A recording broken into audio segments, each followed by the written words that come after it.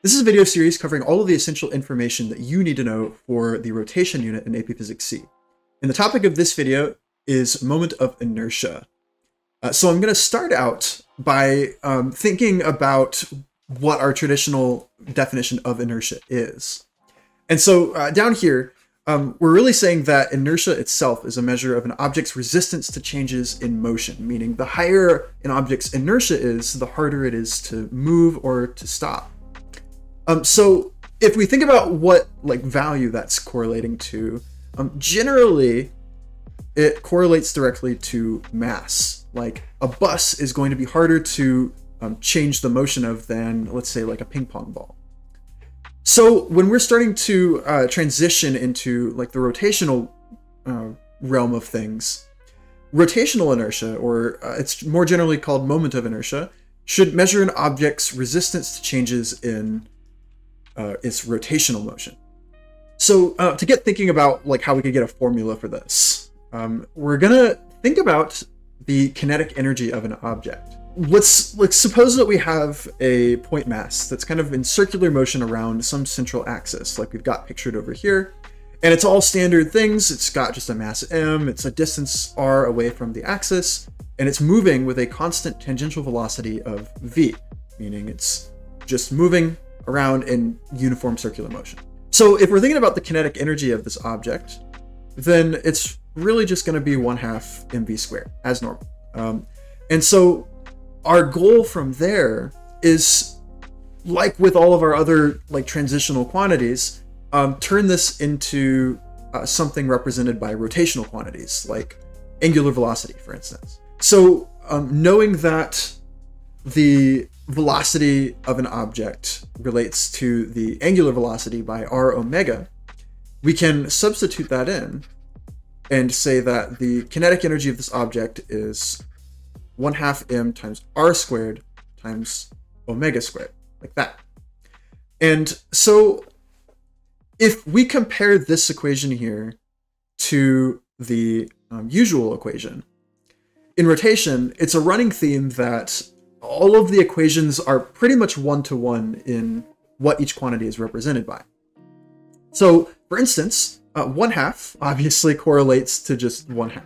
That's a given. But also, velocity generally is just replaced with angular velocity, as we see down here. So then, if we think about mass being the only one left, well, that leaves this mr squared term as the only thing that could um, count as the rotational mass, if we're to call it that. From that alone, we can consider the inertia of this like point mass that's rotating to be mr squared.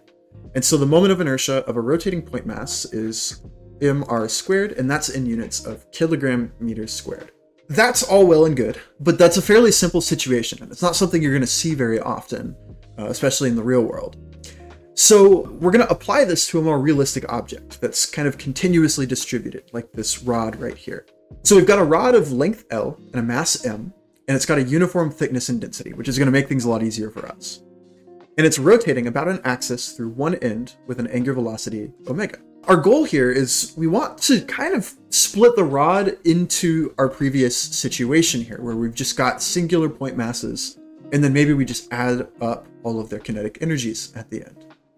So that's exactly what we're going to do. We're going to take this rod and kind of like you see here, we're going to split it into tiny slivers of mass, dm, and each one's going to have a width, dr. It's like a component of the, the total length of the rod itself. Each of these dms are a different um, distance r away from the pivot point, which means that dm is technically intertwined with this r coordinate here. So we need to keep that in mind when we start uh, trying to integrate things. But for now, all we need to do is figure out a formula for the kinetic energy of a singular mass dm. If we're doing that, well, we're already given the angular velocity omega, so we can kind of use this equation right here as a reference. So then the kinetic energy is going to be 1 half times dm now, as opposed to uh, the mass that we had before, um, and then times r squared omega squared. And that's really all we need to write there. Uh, there's not really much else we could do besides maybe rearrange some things. So now that we've got an idea of the kinetic energy of a singular sliver, dm, we now need to set up our summation function to like add all of these up, and that's essentially an integral. In thinking about what's going to go in our integral, well, we can pull the 1 half out because that's not really going to vary with the thing we're integrating through, which is the length of the rod. Everything is multiplied by 1 half. Something else that we can pull out of the integral is this omega term right here.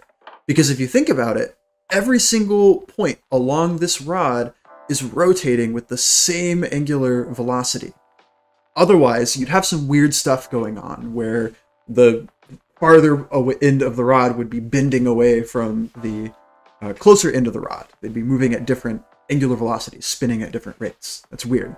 Pulling out the 1 half and the omega squared, the two things that do vary in our integral are, well, obviously the position along the rod that we're at. So within our integral, and our bounds here are going to be just from the axis to the end of the rod, so from 0 to L. r squared is definitely in our integral. And we're going to assume that the infinitesimal here is going to play some sort of role in our integral, because otherwise it's not an integral if we don't have some sort of, you know, infinitesimal term. As a result of that, we can say that, uh, again, if we're pulling out that 1 half and that omega squared, we now have a new formula for rotational inertia that's actually more general than the other one that we derived earlier, which is the integral uh, from 0 to L of r squared times dm is the generally the uh, moment of inertia formula that you're going to see on the AP formula sheet. And that's probably the, the most general way to reach this formula in derivation form. That being said, it's not the most helpful formula from the get-go. We need to do more to actually set it up before we can evaluate it and get a usable number out of it. So, from this equation, right here, our main problem now is that dm and r are not in the same realm of existence. We need to get dm in terms of this r term here, since we are integrating through the length of the rod itself. The way we're going to do that is by utilizing the rod's density, which is a tactic that we used when we were finding the center of mass of continuous objects in a previous unit. We're going to call the rod density um, lambda here, and that's because that's generally the term that's used to uh, describe the linear mass density, which notice that this is a mass per unit length, as opposed to a mass per unit volume that you'd see with a three-dimensional object. So if the density of this rod is the mass of the rod divided by its total length, that is a constant quantity for um, any subsection of this rod. All parts of this rod, no matter how small, are going to have this amount of density attached to it. So with that in mind, if we take this formula and rearrange it and use the density to find how much mass is contained within one of those slivers, dm, well, it's going to be the density times whatever the length of that sliver dm is, which we described it as this little infinitesimal distance dr up here. So uh, it's going to be um, the density lambda times dr, which is the length of dm. And so substituting that in, uh, we can say that lambda is m divided by the total length L, and that's times dr. And from that, we can now uh, successfully plug in something for dm that's in terms of a length. So this integral is now doable if you were to plug it in. So we're going to go ahead and do that. So down here, uh, we're going to use this equation as our launching point, and we're going to finally figure out the rotational inertia of um, a continuous uniform rod. So uh, we're going to do uh, start as normal, um, just integral of r squared, but then for dm, we're going to go ahead and substitute in this m over l dr. Now, m nor l are uh, going to vary with the uh, position along the rod. Both of those are just constants of the rod itself. So we can pull those out of the integral, and what we're left with is r squared times dr. And that's a fairly simple integral to evaluate. So if we carry this through, we're going to do m over l, and then evaluating our integral, we've got um, r l cubed over 3 minus 0, because r squared integrated will be r cubed over 3. And so, once we simplify that, we will find that the moment of inertia of a rod rotated about its end is one third ml squared. Taking a look at a couple of other moments of inertia. Well, we've already got two that we can write down. Um, we know that a point mass at some distance r away from its axis is mr squared. Nice and simple. And now we know that a rod of length L uh, rotated about one of its ends is one third ml squared. One that's uh, interesting to note here is this one over here, where we've got a hoop of radius r um, that's uh, rotated through its center. And an important remark to keep in mind here is that all of the mass is located at this distance r away from the pivot. Now, think of another object in this table where all of the mass is located a distance r away from the center. I'll give you a second. Pause if you need to. It turns out that that condition applies to this situation over here as well. All of the mass m is located a distance r away from the center. So logically then, it follows that this object is also going to have a moment of inertia of mr squared, although you can prove that with calculus as well. So a couple of other ones here. Um, a solid disk is going to have a moment of inertia of 1 half mr squared, and a sphere of radius r is going to have a moment of inertia of 2 fifths mr squared. A rod of length L that's rotated about its center will have a moment of inertia of 1 12th ml squared. Now, take a look at these rods down. So a rod rotated about its center, you could think of as if you hold up your pencil or your pen or whatever uh, object that's kind of like a rod that you'd have on your desk, and you hold it about its center like that. Well, if you try to rotate this thing back and forth, like I'm doing here, notice how much resistance you feel when you do this. Okay, really take it in. Now stop. What I want you to do now is move your pivot point to the end of your pencil, like this. Now, if you do the exact same thing, you just wiggle it back and forth, notice how much more resistance you feel when you do that.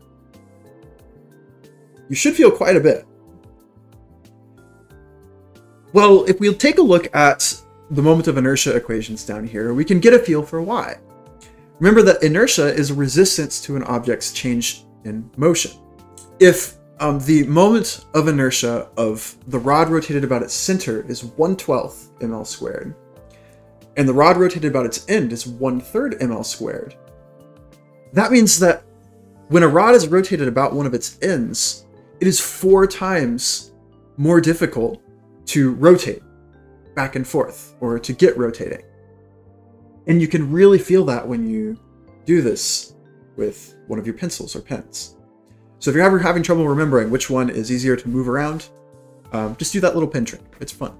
The next thing you need to know in this unit is um, how to add multiple moments of inertia together if you've got something called a composite body, which means that you've basically just got multiple fundamental objects all combined together into some weird super object. And the big thing to keep in mind here is that if you have an object like that, the rotational inertia of such an object is the sum of the rotational inertia of the individual parts. So this object here can be split into a ring, kind of like this object up here, and a rod rotated about its center, like this 1 12th ml squared right here. So we've got usable numbers for these. And so uh, again, we just need to find the rotational inertias of those two individual objects, and then we can just add them together to get the total. So the rotational inertia of the ring is going to be mr squared, which the mass is 5 kilograms, and the radius of it is uh, 1 meter. So the rotational inertia of the ring is going to be 5 kilogram meters squared. Now, the rotational inertia of the rod on the other side is going to be 1 12th ml squared. So if we substitute in here, the mass of the rod is 6 kilograms, and the length is 4 meters. So 6 divided by 12 is 1 half times 16, so that's going to be about 8 kilogram meters squared. All right, now that we have those two individual rotational inertias, all we need to do is add them up. This is kind of uh, similar to how we would just add mass um, outright uh, on an object. Mass is a scalar, rotational inertia is also scalar, so we don't really need to worry about um, directions or anything. So the total rotational inertia here then is just going to be 5 plus 8, which is about 13 kilogram meters squared. And that principle applies to pretty much every object that is composite like this. If you can find a way to break it into individual parts, um, you're pretty much golden for finding the rotational inertia of the weirder objects. And finally, the last major thing to note with rotational inertia is the parallel axis theorem. And this is another handy trick that you can use to actually uh, reduce the amount of formulas that you need to memorize, because AP does not really give you a whole lot of these. The idea behind the parallel axis theorem is um, the idea that we really revealed with our first formula over here, which is that generally the farther out you get from the axis um, that you're rotating around, the higher the rotational inertia gets. And down here, we reach another idea, which is that um, an object that's rotating about its center of mass generally has the most, or the, the lowest, uh, rotational inertia of its type. And any object that's not rotated about its center of mass is generally going to have a higher rotational inertia proportional to how far out away from the center of mass that axis is. So, for instance, this disk that's uh, been displaced away from its center of mass to this new uh, rotational point right here is going to have a significantly higher rotational inertia than the disk rotated about its center. So the equation for the parallel axis theorem is that if you want to find this, let's say, uh, new rotational inertia, ID, you're going to take the rotational inertia of whatever that object is um, rotated about its center of mass. So for a disk rotated about its center, that's 1 half mr squared, like this. Plus, we're going to add to that an additional factor of m times d squared. The m is just the mass of the disk. This capital D is how far away from the center of mass we've placed our axis of rotation. And so to get a feel for this and, and to show that it works, um, if we take the um, rotational inertia of a rod rotated about its center of mass, which is just through its center, that's 1 12th ml squared.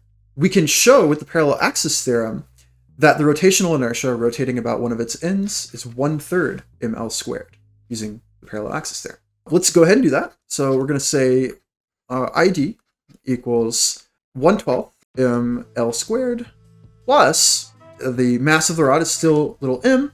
What is the distance d? Well, let's draw it out.